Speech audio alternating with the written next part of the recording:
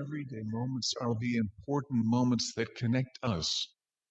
キユ名古屋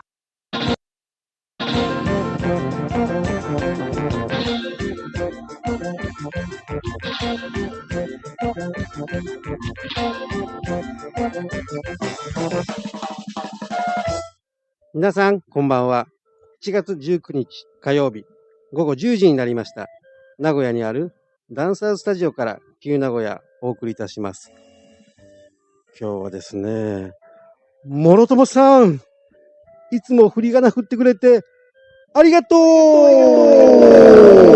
つめるおじマスクマンでございます。はい。えー、新しいちょっと、えー、マイクに変わったんですけれども、なんとなくいつも、あの、ゲーム仕様のやつだったんですけれど、今日ちょっと違う仕様になったんですけど、なんか違和感を感じている？ミソニコミスキーと？うん、やっぱりこのヘッドセットはあんまり音良くないです、えね。なんかさーって音もしますしえ、うんうん。あんまり良くないなと思ったダンサーズでございます。はい。こんな3人がお届けします。今週のテーマは？野菜。はい、はい、はい、はい。今週のテーマは野菜です。メールアドレスは kiyu.kiyu.nagoya きゆ .kiyu.nagoya です。kiyu.kiyu.nagoya きゆ .kiyu.nagoya です。この番組はツイキャスライブでも配信しています。ツイキャスのサイトから FM ギノワンで検索してください。また、インターネットラジオ配信サイト、マイチューナラジオからも放送しています。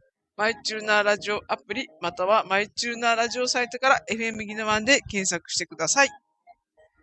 えー今週は、えー名古屋は栄養コーナーはちょっと随分お休みしてますけれども、メールがたくさんありますので、メールを紹介していきたいと思います。この番組は、高級木材のご用命は、名古屋中川名木、名誉総裁賞受賞の首里まんじゅう、那覇首里中村製菓、自動車整備士を絶賛募集中、名古屋トリプルエイト、陸上海上輸送一貫サポート、名古屋東海共和、アートワークウェブサイト FMJG、ウェブサイト制作、システム開発は名古屋電脳職人村、キャンパスレコードで絶賛発売中、福田康之、フリージアの花、芋掘りイベントは、八重瀬町、フッシャン芋生産組合、個人スポンサーさんです。真っ赤なメルセデスさん、こちらの提供でお送りいたします。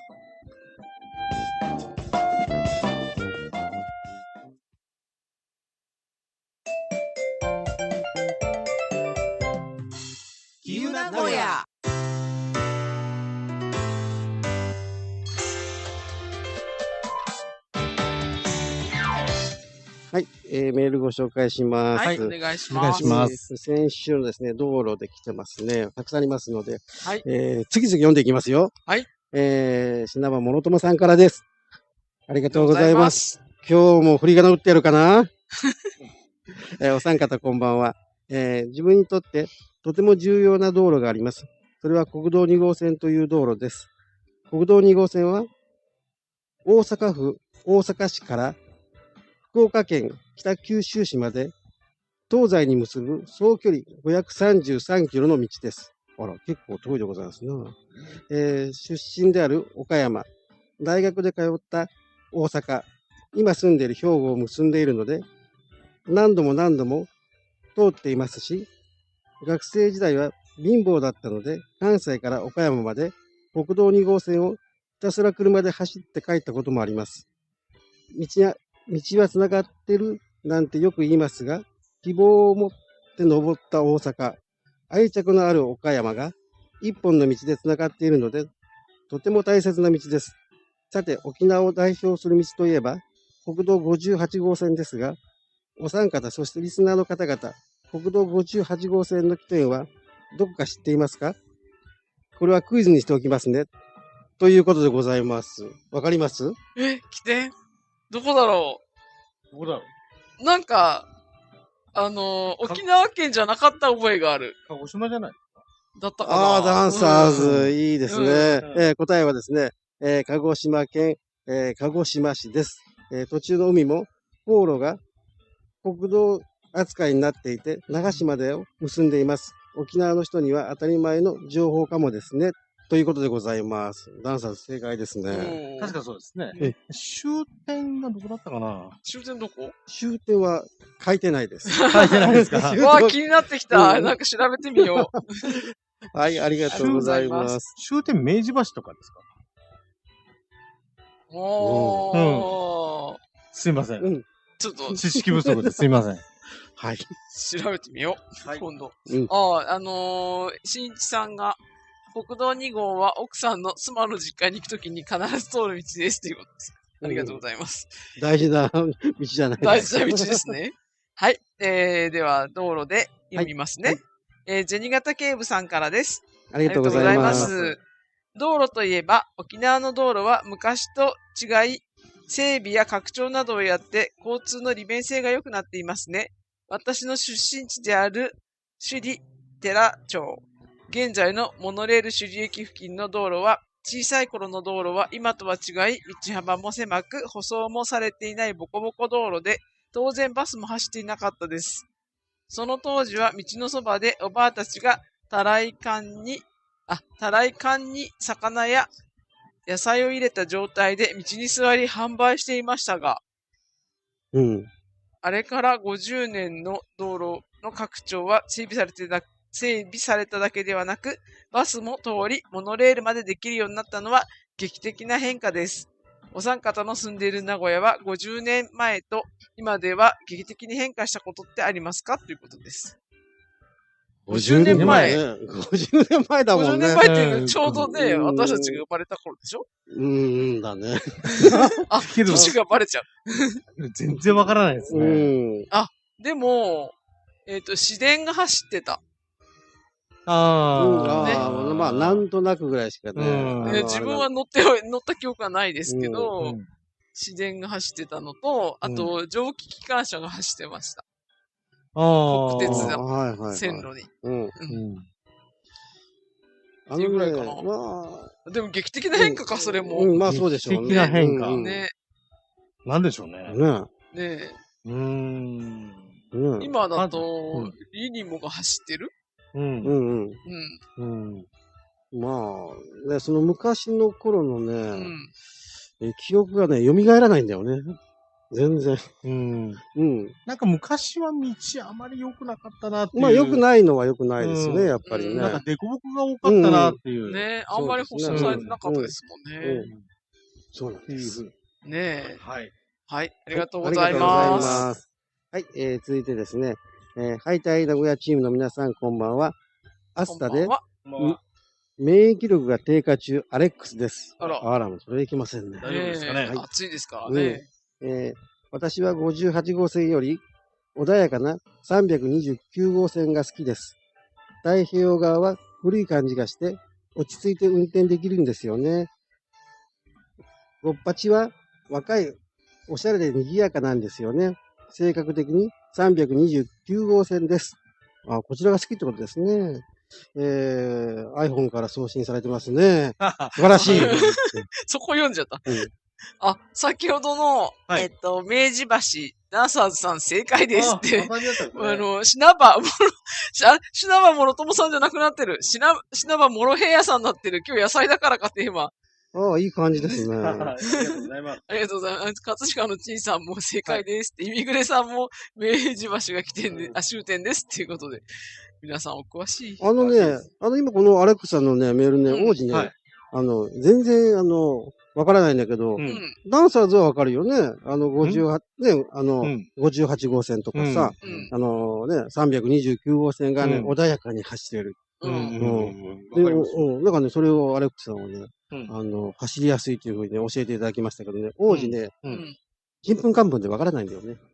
ただ、走ってたのか、あの、走ってはないですね。あの、大体、えー、ダンサーズが運転して、あの、王子は、あのーね、あの、いろんな風景を眺めてますけどね、全然それがわからないんだよね。なるほどね。あのー自分が運転してるわけじゃないから、あまりそうなんだよね。国道何号線とか気にうんし、そうそうしてないんだね。そうそう。これがね、なかなかわからないんです。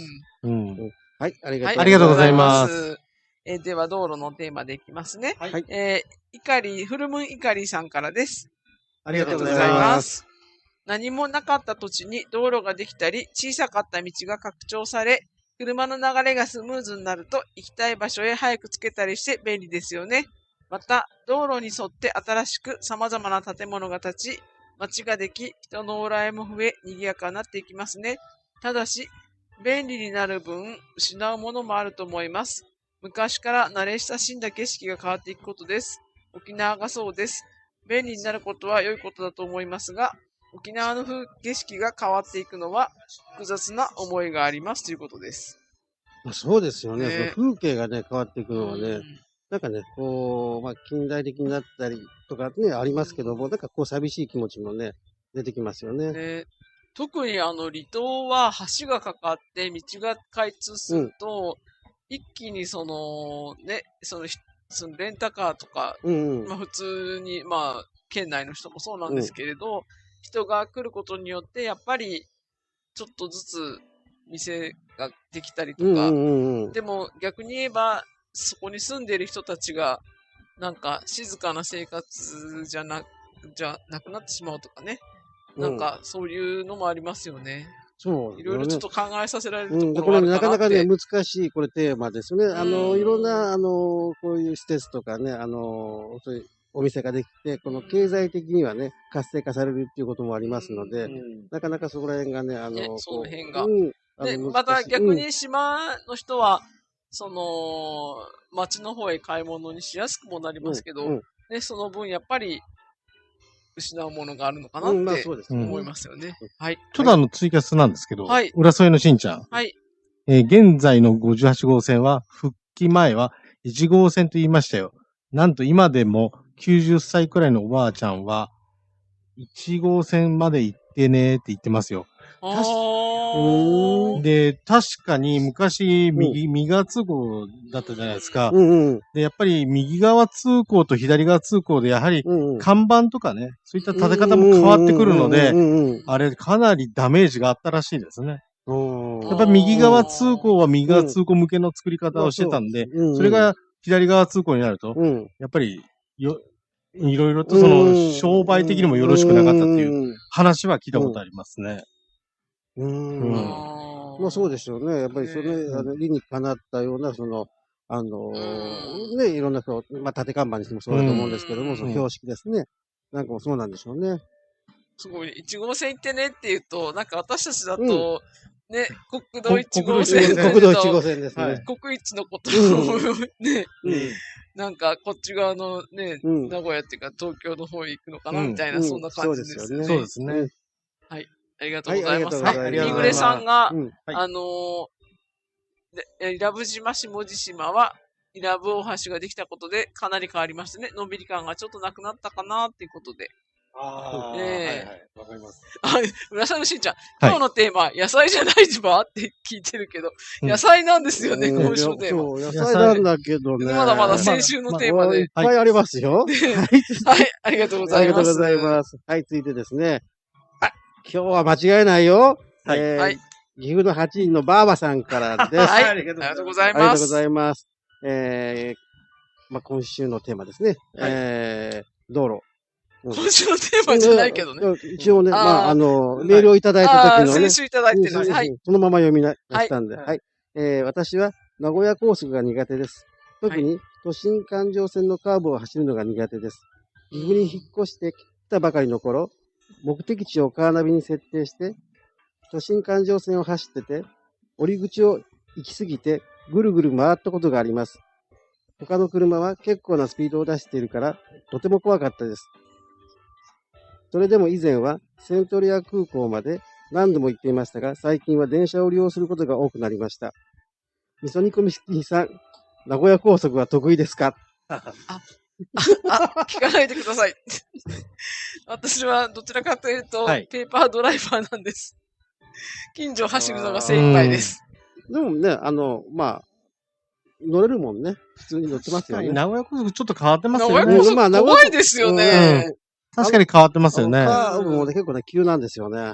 あの、出口がね、追い越し車線側から出てくとかうん、ので、入り口も追い越し線が、車線側から進入していくとか、変わってますよね。まあ、変わってますね。うん。うん、確かに。そうなんですよね。だうん。からちょっとね、あのー乗り慣れないと、うん。うんちょっと難しい時あるかなっていうね。うんうんナビ見ててもね、本当に通り過ぎちゃうあ時あるんれやっぱですよね。り、こう、地元の人じゃない人が、うん。ね、あれちょっとね乗りづらいと思います怖いでしょうね。わかりづらいですやっぱりねわかりづらいわかりづらいですよね。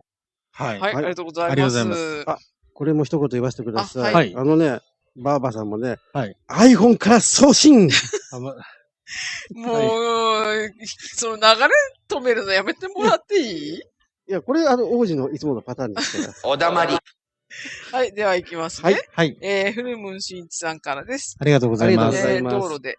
この季節、夜に街中を散歩していると、サガリバナの甘い香りが漂ってくることがあります。特に最近は庭先に植える家庭が増えている気がします。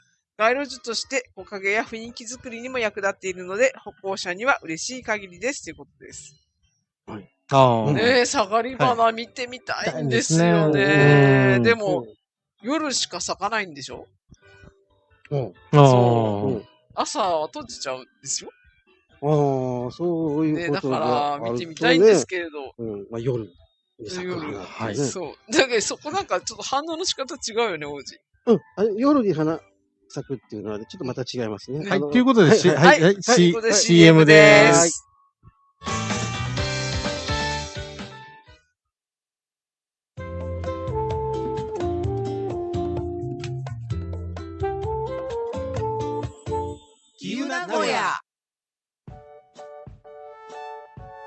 建設内装材のことなら名古屋の中川名木。奈良桜かりんなど各種無垢フローリング激安販売中。和室設計のサポートもいたします。電話番号名古屋052-625-1122名古屋市厚田区にあるトリプルエイトでは、フォークリフトの整備、塗装ができる社員を募集中。社員料完備。引っ越し費用を最大5万円まで負担いたします。興味のある皆さん、今すぐ052-653-0071、052-653-0071までお電話を。中村製菓は那覇首里に創業して64年、月桃や泡盛など激戦素材で作り上げた首里まんじゅうと君品、こだわりの琉球菓子をご賞味ください。ユーレール首里駅から徒歩3分、電話098-884-5901中村製菓。私ども東海共和の国内物流部は名古屋から北は北海道、南は沖縄まで最適な物流サービスを提供しております。これからも皆様の心強い物流パートナーとしてお問い合わせは電話052-389-7817東海共和まで。FMJG アートワークウェブサイトオープン。オリジナルモノクロキャラクターオブジェクトの実験的ミュージアム。ご訪問は FMJG.jp まで。ただいま独自企画品開発中。名古屋にある電脳職人村はインターネット一筋22年サイト制作システム開発などニーズに合わせて提供します最高の品質最高のノウハウ最高の感動をお客様にお問い合わせは電話052-232-8333または電脳職人村で検索ただ一つ叶うなら、お母さんに会いたい。その思いが僕の心を動かし、歌にしました。福田康之、プリージアの花、キャンパスレコードにて絶賛発売中。ねえねえ、学校のイベントは決まったの？まだなら八重瀬町の畑で芋掘り体験はどう？一人500円で約2キロの芋を持って帰るって予約は098-998-4010ぐしちゃいも生産組合あさとに電話したらいいさ。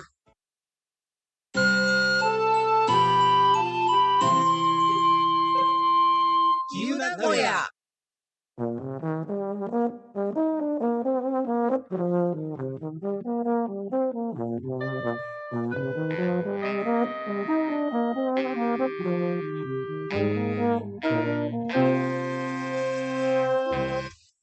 はい、メールご紹介します。はいお願いしますえーこちらもですね、まだまだ道路で来てますからね。お願いします。はい、えー、埼玉のゴータースめっちゃいい感じだね。いい感じだね。うん。えー僕の家は歩いて千葉県に入る距離でして、僕が住む住宅地の入り口が幹線道路になっています。朝晩は大渋滞ですが、裏側から出ると抜け道で交差点手前まで行けるので、回避できます。ああ、渋滞を回避できるということですね。えー会社が茨城県なんですが、渋滞回避しながら片道30キロの道のりを朝は40分から50分ほどで行けますね。今は Google マップで住宅地も抜け道になってしまい、自宅のある住宅地もまた抜け道に使われてしまいます。はあえーえーこれは、えーっと、市長に直談判して、近隣の住宅地の出入り口に、住宅地につき徐行の縦看板をつけてもらいましたよ。ということでございます。これはいいことですね。あの、ね、抜け道でね、あの、結構ね、バンバン走る人がいますからね。ちょっとそういう時はね、あのね、学生さんなんかがね、あの、通るような道だとね、危ないですから、もうこういうことはね、あの、どんどん発信してね、いろんなものをね、つけてもらった方がいいですね。まあ、特にね、あの、まあ、王子に注意っていうのだけはやめてほしいですけどね。はい。はい。ありがとうございますす。えっと、今週のテーマで言っていいですか？はいはい。じゃあ、野菜のテーマでいきますよ。ここからです、今週のテーマ。そうだね。はい。えー沖縄大好きさんです。ありがとうございます。メッセージテーマ、8歳 ?8 歳？あれ？テーマがおかしいぞ ?8 歳？あ、野菜、八つ歳、はす、あ、野菜というわけで本日のテーマ野菜。皆さん、野菜食べられますか？僕も食べてます。子供の頃、苦手だった野菜がありました。それはナーベーラー、そう、ヘチマです。理由として種が多くて何より食感が大の苦手でした。ご飯と一緒に食べたりして少しずつ克服しました。今は野菜嫌いも少なくなり食べられるようになりました。野菜炒め、ゴーヤチャンプルー、サラダにしたりとよく食べます。ということです。うんありがとうございます。ありがとうございます。最初、どうしよう、テーマこのまま突き進んでいったらと思って。あの、何になっちゃうのかなと思って、ね、ね。テーマ8歳になるところでしたよ。え、それはあの、年齢的な8歳？そうそうそう、あ、そうそう、か、そうね。あのー文章で読むとわからないかもしれないんですけど、そうなんです。8歳って書いてあったんです。野菜じゃなくて。そういうことね。うん結構いい、いいパターンですよ、そういうのもね。それ冷静に言うのやめて、やめて。冷静に言うのやめて。だだってあの何ですか、あの王子好きだもん、そういうの。あ、そういうの好きなんで。あうんもう、てんやわんやんだって何が何だかわからないっていう。うん そのパターン大好き。はい。おだまりはい、ありがとうございます。ありがとうございます。はい。えー、こちらもですね、野菜できています。えー、あんこの翼、あんつばです。ありがとうございます。ありがとうございます。えー前職はビニールハウスで野菜の産栽培管理をしていましたが、ちょうど村で地産地消を広めようということになり、学校給食に出す野菜を中心に作っていましたが、葉野菜が収穫できるまで最短で1ヶ月なんですよね。なので、翌月の給食の献立表が、あ、翌月の給食の献立表が来る前に、この野菜使おうかなと予想し、栽培して、学校給食の野菜自給率10%以下だったのが90%を超えました。あら、すごい。うんえー今では、えー水耕栽培もして、台風時期の定期船出港できないとかでの野菜不足も減りました。ということでございます。うんあこう、あのー自給やっぱり、あの自足ってことですね。ー、あの、やっぱり大東島はね、その、やっぱり、ふ船が取られて野菜不足っていうか、野菜が来ないっていう状態だと大変ですもんね。そういうことですね。うん。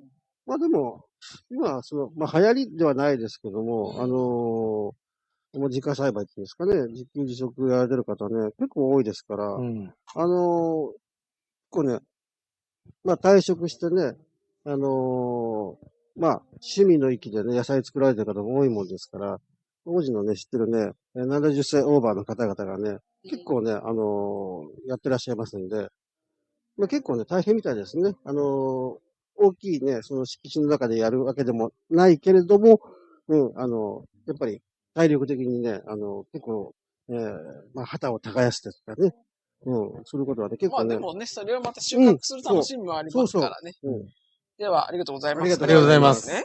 えっ、と、品場諸友さんですけれども、この間まで野菜しか食べない人をベジタリアンって呼んでいたのに、いつの間にかビーガンに変わってわじわじしている品場諸友です。ありがとうございます。ありがとうございますありがとうございます。野菜、野菜は一部アレルギーがあるものを除けば大好きです。でも、少々変なこだわりがあります。それは、カレー、シチュー、酢豚に代表される野菜ゴロッと系の料理が嫌いです。なぜ嫌いかというと、せっかくいろんなものを煮込んでいるのに、ワンスプーンに収まらない。カレー味のじゃがいも、カレー味の人参、カレー味の玉ねぎをそれぞれ別に食べているような気がしてイライラします。以上、関西から変人がお送りしました。うんあの、そういう時はあれ、あの、まあ、細かく切るか、あの、うんペースト状にするとかの方がお好きなのかしらね。きっと、一口で食べた時にいろんな野菜の味がある方うんがいいってことですよね。単品の味をだから、うん味わいたい。大きいと、いや、じゃあ、大きいとスプーンで食べて、うんじゃがいもだけみたいな。人人参だけみたいなだからそのゴロゴロ感っていうことですね。だから、ゴロッとしてる方が、うんはあんまりお好きじゃないってことですよね。ああ、そういうことですね。人参 CC とか、あいそうですね。細かいから。うんうんうんああ、はい。はい。うんはい。ありがとうございます。ありがとうございます。はい。続いてですね。はい。えー、おばあからもらったプライベートジェットさんからです。ありがとうございますはいありがとうございます。えー最近は、ご近所さんから、旗で採れたキュウリやトマトをよくいただき、とても助かっています。我が家でもプランターでゴーヤとヘチマなどを育てています。ゴーヤはあと数日で初収穫ができそうです。ヘチマも早く実がならないかなと毎日水をあげながら見ています。野菜の成長は楽しみですね。皆さんも野菜育てて育てていますか？ということでございます。うん、野菜は、王子はやってないですね。あの、種をね、なんかのね、あれね、小松菜だったかな？種もらいましたけども、うん。うん。うんまあ、そこにできるようなね、きちっとしたね、あの、地がありませんので、もうね、雑草が生えましてね、王子の宮殿もですね、誰もね、そういうね、草抜きをしないもんですからね。はい。ということで、はいということでもうエンディングはい、エンです。ディングです。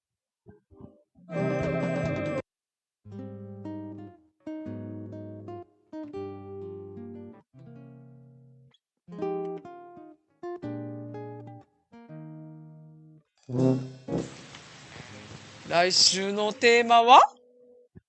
強い強い強い強い強い来週のテーマは強いです。野球が強い、風が強い、お酒が強いなど強いエピソードをお送りください。この番組は、芋掘りイベントは、八重瀬町クリスチャン芋生産組合、キャンパスレコードで絶賛発売中、福田康之、フリージアの花、ウェブサイト制作、システム開発は、名古屋電脳職人村、アートワークウェブサイト、FMJG、陸上海上輸送一貫サポート、名古屋東海共和、自動車整備士を絶賛募集中、名古屋トリプルエイト、名誉総裁賞受賞の首里まんじゅう、那覇首里中村製菓、高級木材のご用命は、名古屋中川名木、個人スポンサーさんです。真っ赤なメルセデスさん、こちらの提供でお送りいたしました。はい。じゃあ、はい。閉店